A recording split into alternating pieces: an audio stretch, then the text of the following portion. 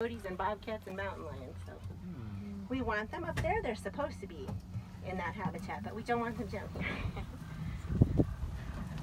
so those horses, like I said, come from China, from the Mongolian steppe. They actually went extinct in the wild back in the 80s. Um, all of their homeland was lost to farming. But they lived in zoos and other kinds of nature reserves. So the international conservation community got together and started um, a breeding program. So we've had about 150 born here at the park.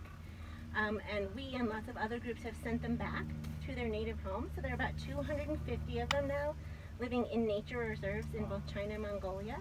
Um, but it's kind of exciting that they, you know, they went extinct in the wild, but we were able to reintroduce them back to their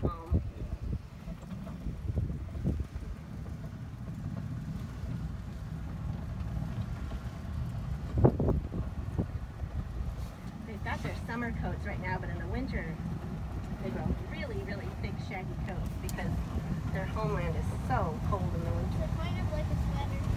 Yes.